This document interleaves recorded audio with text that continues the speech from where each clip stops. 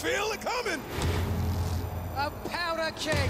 of fury, aggression, and desire! You want a shot at the champ? You've got it. One of these four women will walk up as the new NXT Women's Champion. We will have one match so brutal it hasn't been seen in 20 years. One of the most dangerous matches in sports entertainment history. Three teams in two rings